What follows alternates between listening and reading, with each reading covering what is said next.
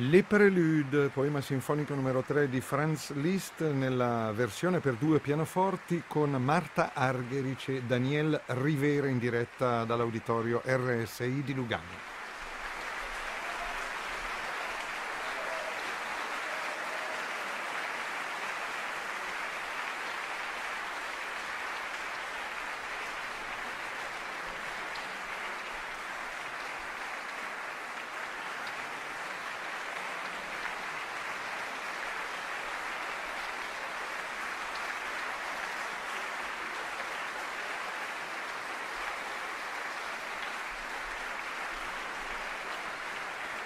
Ancora il pubblico a richiamare Marta Argerich e Daniel Rivera sul palco dell'auditorio RSI di Lugano. Le Prélude di Franz Liszt, come dicevamo in precedenza, questa è la versione per due pianoforti dello stesso Franz Liszt, un poema sinfonico